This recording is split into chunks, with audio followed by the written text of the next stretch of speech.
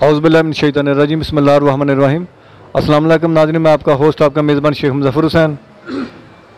آپ کافی ساری ویڈیو میرے ہر موضوع پر دیکھ چکے ہیں، الحمدللہ پسند بھی کر رہے ہیں۔ روحانیت کے موضوع پر بھی کافی ویڈیو دیکھ رہے ہیں۔ ابھی میں ادھر موجود ہوں، نشارہ۔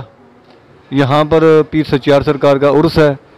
تو ان کی اولاد میں سے ہیں۔ پیر صاحب، پیر شاہد ربانی صاحب، میں ان سے بات کرتا ہوں روحانی پوائنٹ پہ۔ ابھی پہلے بھی میری بات ان سے ہوئی ہے پیر سچیار کے موضوع پر۔ تو ابھی روحانی پوائنٹ بھی کیونکہ وہ بھی آپ تک آنے چاہیے ضرور۔ تو میں تھوڑا اپنے انٹرو میں یہ اتنا کہنا چاہتا ہوں کہ اللہ تعالیٰ نے اس کائنات کو تخلیق کیا اور نبوت کا سلسلہ اللہ تعالیٰ نے قائم و دائم کر دیا۔ نبوت کا سلسلہ چلتا رہا۔ خاتم النبیین حضرت محمد مصطفیٰ صلی اللہ علیہ وآلہ وسلم تک ختم ہو گیا نبوت کا سلسلہ۔ آگے پھر سلسلہ چل پڑا یہ جو ہے ولایت کا۔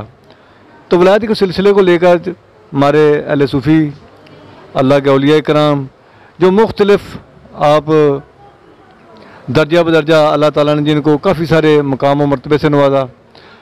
اس کے لیے کہ انسان کو اللہ تعالیٰ نے اپنا خلیفہ بنایا، اس میں اللہ تعالیٰ نے کافی سارے پوائنٹ رکھے جن کو الطائف کہتے ہیں۔ یہ اللہ کے ولی ان پوائنٹ کو اجاگر کرتے ہیں۔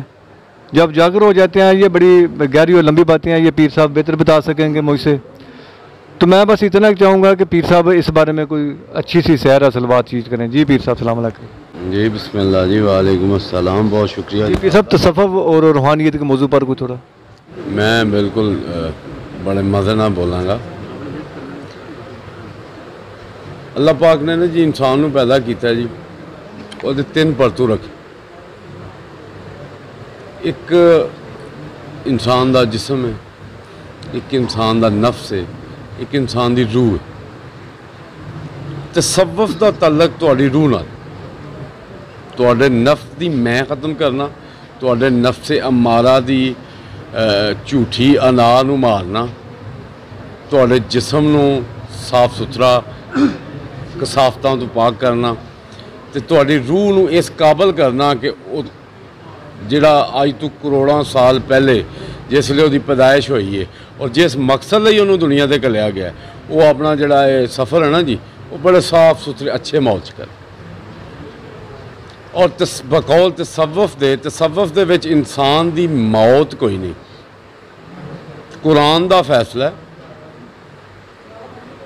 ਜ਼ਾਇਕਾ ਚਖਣਾ ਉਹ ਹਰ ਨਫਸ ਚਖਣਾ ਕਿਉਂਕਿ ਕੁਰਾਨ ਦਾ ਫੈਸਲਾ ਲੇਕਿਨ ਮਰਨਾ ਤਸਵਫ ਦੇ ਵਿੱਚ ਕੋਈ ਨਹੀਂ। ਤਸਵਫ ਇਹ ਗੱਲ ਹੁੰਦੀ ਏ ਕਿ ਜਿਸ ਵੇਲੇ ਇਨਸਾਨ ਕਰੋੜਾਂ ਸਾਲ ਪਹਿਲੇ ਪੈਦਾ ਹੋਇਆ ਨਾ ਜੀ, ਉਹਦੀ ਰੂਹ ਪੈਦਾ ਕੀਤੀ ਗਈ। ਉਹਨਾਂ ਕਰੋੜਾਂ ਸਾਲ ਤੋਂ ਬਾਅਦ ਅੱਜ ਜਿਹੜਾ 10 ਸਾਲ 20 ਸਾਲ 100 ਸਾਲ ਜਾਂ ਹਜ਼ਾਰ ਸਾਲ ਜ਼ਿਆਦਾ ਜ਼ਿਆਦਾ ਜਿਹੜਾ ਐਸੀ ਇਹ ਸਫ਼ਰ ਕਰ ਰਹੇ ਦੁਨੀਆ ਦਾ, ਇਹਦਾ ਅਸਲ ਉਹ ਸਾਡੀ ਰੂਹ ਦੇ ਸਫ਼ਰਾਂ 'ਚ ਨੇ। ਤੇ ਰੂਹ ਬੜੀ ਪਾਕ ਚੀਜ਼ ਅੱਲਾਹ ਪਾਕ ਨੇ ਬਣਾਈ ਹੈ। ਇੱਥੇ ਜਿਸਮ ਆ ਗਿਆ, ਨਫਸ ਆ ਗਿਆ, ਗੰਦ ਆ ਗਿਆ ਤੇ ਸਵਫ ਇਹ ਆਂਦਾ ਹੈ ਕਿ ਉਹ ਦੋਵੇਂ ਚੀਜ਼ਾਂ ਤੁਹਾਡੇ ਨਾਲ ਚੱਲਣ। ਲੇਕਿਨ ਜਿਹੜੀ ਰੂਹ ਹੈ ਨਾ ਜੀ, ਜਿਹਦਾ ਸਫ਼ਰ ਲੈ ਕੇ ਤੁਸੀਂ ਟੁਰ ਰਹੇ ਹੋ ਔਲੀਆ ਕਰਾਮ ਨੇ ਉਹਦਾ ਤਰੀਕਾਕਾਰ ਦੱਸਿਆ। ਕਿ ਤੁਸੀਂ ਇਹਨਾਂ ਤਰ੍ਹਾਂ ਚੀਜ਼ਾਂ ਨੂੰ ਇਸ ਦੁਨੀਆ ਤੇ ਲੈ ਕੇ ਕਿੰਨ ਚੱਲ ਸਕਦੇ ਜਿਹੜਾ ਬੰਦਾ ਆਪਣੀ ਰੂਹ ਦਾ ਸਫ਼ਰ ਆਪਣੇ ਜਿਸਮ ਤੇ ਨਫਸ ਨੂੰ ਆਪਣੇ ਕਾਬੂ 'ਚ ਕਰਕੇ ਕਰਦਾ ਦਰਅਸਲ ਉਹ ਕਦੀ ਵੀ ਨਹੀਂ ਮਰਦਾ। ਕੁਰਾਨ ਦਾ ਜਿਹੜਾ ਫੈਸਲਾ ਹੈ ਨਾ, ਨਫਸ ਦਾ ਜ਼ਾਇਕਾ ਚਖਣਾ ਉਹ ਹੈ ਵੇ। ਉਹ ਕਾਨੂੰਨੇ ਕੁਦਰਤ। ਉਹ ਤਮਾਸ਼ਾ ਲੱਗਿਆ ਹੀ ਰਹਿਣਾ। ਲੇਕਿਨ ਜਿਹੜਾ ਮਰਨ ਵਾਲਾ ਕੰਮ ਹੈ ਪਾਕਾਂ ਦਾ ਫਰਮਾਨ ਹੈ ਕਿ ਕਰੋੜਾਂ ਸਾਲ ਬੰਦਾ ਆਲਮੇ ਅਰਵਾ 'ਚ ਰਿਹਾ। ਕਰੋੜਾਂ ਸਾਲ। ਕੁਝ 100 ਸਾਲ ਤੋਂ ਉਹ ਦੁਨੀਆ ਤੇ। ਚੰਦ ਇੱਕ ਘੰਟੇ ਨਾ ਜੀ 7 8 10 ਘੰਟੇ ਦੇ ਵਿੱਚ ਉਹ ਜਿਹੜਾ ਉਹ ਅੱਖਾਂ ਬੰਦ ਕਰਨੇ ਵਾਲਾ ਜਿਹੜਾ ਨਾ ਜੀ, ਉਹ ਸਿਸਟਮ ਉਸਲ ਤੱਕ ਤੇ ਉਹ ਕਬਰ ਦੇ ਵਿੱਚ ਜਾਨ ਤੱਕ। ਉਹ ਐਵੇਂ ਹੀ ਹੈ ਕਿ ਜਿਸ ਤਰ੍ਹਾਂ ਤੁਸੀਂ ਰਾਤੀ ਸੌਂਦੇ ਜੇ। ਸਵੇਰੇ ਅੱਲਾ ਦਾ ਹੁਕਮ ਜਿਹਦਾ ਹੋਇਆ ਉਹ ਉੱਠ ਖਲੋਤਾ ਜਿਹੜਾ ਬਾਕੀ ਉਹ ਮੈਂ ਪੈ ਗਿਆ ਉਹ ਤੁਸੀਂ ਮਦੋਸ਼ੀ ਕਰ ਲਓ ਜਾਂ ਨੀਂਦਰ ਕਰ ਲਓ ਉਸ ਤੋਂ ਬਾਅਦ ਉਹ ਕਬਰ ਦਾ ਆਲਮੇ ਬਰਜ਼ਖ ਆਲਮੇ ਬਰਜ਼ਖ ਵਿੱਚ ਵੀ ਤੁਸੀਂ ਹਜ਼ੂਰ ਉਮਰ ਫਾਰੂਕ ਰਜ਼ੀ ਅੱਲਾਹ ਤਾਲਾ ਨੂੰ ਅਕਲਸ ਵਸਲਾਮ ਅਗੇ ਅਰਜ਼ ਕੀਤੀ ਕਿ ਹਜ਼ੂਰ ਉਹ ਕਬਰ ਦੇ ਵਿੱਚ ਜਿਹੜੇ ਮਾਮਲਾਤ ਨੇ ਉਹਦੇ ਵਿੱਚ ਆਪਨੇ ਫਰਮਾਇਆ ਪੂਰੀ ਹੋਸ਼ ਵਿੱਚ ਹੋਵਾਂਗੇ ਸਰਕਾਰ ਨੇ ਫਰਮਾਇਆ ਹਜ਼ਰਤ ਉਮਰ ਫਾਰੂਕ ਨੇ ਅਰਜ਼ ਕੀਤੀ ਹਜ਼ੂਰ ਫਿਰ ਤੁਸੀਂ ਦੁਆ ਫਰਮਾਓ ਫਿਰ ਅਸੀਂ ਜਾਣੀਏ ਤੇ ਅਸੀਂ ਮੁਕਲਾਂ ਮਤਲਬ ਅਗਰ ਬੰਦਾ ਡੈਡ ਹੈ ਡੈਡ ਦੀ ਡੈਫੀਨੇਸ਼ਨ ਦੇ ਹੋਵੇ ਕਿ ਮਤਲਬ ਜਿਸ ਤਰ੍ਹਾਂ ਚਨੇ ਨੇ ਬਿਲਕੁਲ ਉਹ ਕੁਝ ਘੰਟਿਆਂ ਵਾਸਤੇ ਸੌਂ ਕੇ ਉੱਠਿਆ ਉਹਨੂੰ ਉਠਾਤਾ ਗਿਆ ਉਹਦੇ ਵਾਸਤੇ ਜੰਨਤ ਦੋਜ਼ਖ ਹੋ ਗਈ। ਉਹਦੇ ਅਮਾਲ ਦੇ ਮੁਤਾਬਕ। ਹੁਣ ਜਿਹੜੀ ਜੰਨਤ ਦੋਜ਼ਖ ਵਾਲੇ ਮਾਮਲਾਤ ਨੇ ਉਹ ਲਾ ਤਦਾਦ ਜ਼ਿੰਦਗੀ ਹੈ ਨਾ ਖਤਮ ਹੋਣੇ ਵਾਲੀ ਜੰਨਤ 'ਚ ਜਾਂ ਨਾਉਜ਼ ਬਿੱਲਾ ਜਹੰਨਮ 'ਚ। ਦੱਸੋ ਬੰਦਾ ਮੋਇਆ ਕਿੱਥੇ ਜੇ ਕਰਕੇ? ਕਰੋੜਾਂ ਸਾਲ ਤੋਂ ਦੁਨੀਆ ਦੁਨੀਆ ਤੋਂ ਆਲਮੇ ਬਰਜ਼ਖ ਆਲਮੇ ਬਰਜ਼ਖ ਤੋਂ ਆਲਮੇ ਆਖਰਤ। ਬੰਦਾ ਕਿੱਥੇ ਜੇ ਕਰਕੇ ਮੋਇਆ ਤੇ ਸਬਬ ਆਂਦੀ ਹੈ, ਬੰਦਾ ਮਰਦਾ ਨਹੀਂ।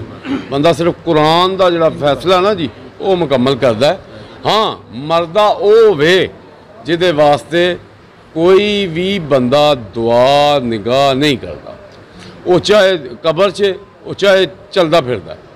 ਜਿਹਦੇ ਪਿੱਛੇ ਦੁਆ ਕਰਨ ਵਾਲਾ ਕੋਈ ਨਹੀਂ, ਜਿਹਦੇ ਪਿੱਛੇ ਕੋਈ ਉਸਤਾਦ, ਕੋਈ ਮਾਂ, ਕੋਈ ਪਿਓ, ਕੋਈ ਲਾਗਲਾ, ਕੋਈ ਮੁਰਸ਼ਿਦ ਉਹ ਮਰ ਜਾਂਦਾ ਆ ਬਾਕੀ ਮਰਨ ਵਾਲੀ ਗੱਲ ਕੋਈ ਨਹੀਂ ਤਸਵਫ ਇਹ ਆਂਦਾ ਹੈ ਕਿ ਜਿਓ ਜੀਣੇ ਦੋ ਤੇ ਸਾਫ ਸੁਥਰੇ ਹੋ ਇੱਥੇ ਵੀ ਤੁਹਾਡੇ 100 50 ਤੋਂ ਉੱਤੇ ਨੰਬਰ ਹੋਣ ਤੇ ਅੱਗੇ ਵੀ ਆਹਿਸਤਾ ਆਹਿਸਤਾ ਜਿਹੜਾ ਨਾ ਜੀ ਤਸਵਫ ਇੱਕ ਇਨਸਾਨ ਨੂੰ ਬੜੀ ਸਾਫ ਸੁਥਰੀ ਦੁਨੀਆ ਬੜੀ ਸਾਫ ਸੁਥਰੀ ਬਰਜ਼ਖ ਤੇ ਬੜੀ ਸਾਫ ਸੁਥਰੀ ਜੰਨਤ ਦਿੰਦਾ ऐसे ही अल्लाह पाक फजल दे जी नाजरीन पीर साहब ने बड़ी तफसील से बताया تو اس بات میں کوئی شک نہیں کہ روح کو اللہ تعالیٰ نے جب بنایا تو اس کو امربی کہا۔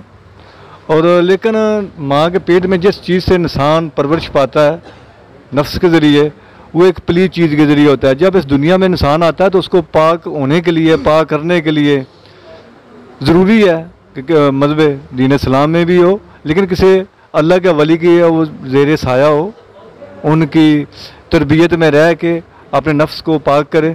تو پھر وہ اس قابل ہوتا ہے کہ جس کے لیے اللہ تعالیٰ نے فرمایا کہ انسان کا جو تلق ہے، وہ ٹوٹ چکا ہے اس کو بحال کرنے کے لیے۔ ضروری ہے کہ وہ کسی ولی کے پاس جائے تاکہ اس کی روح کی پکیزگی ہو، اس کے نفس کی پکیزگی ہو اور وہ اللہ تعالیٰ کی ذات تک پہنچ سکے اور اللہ تعالیٰ سے ٹوٹا ہوا تعلق اپنا بحال کر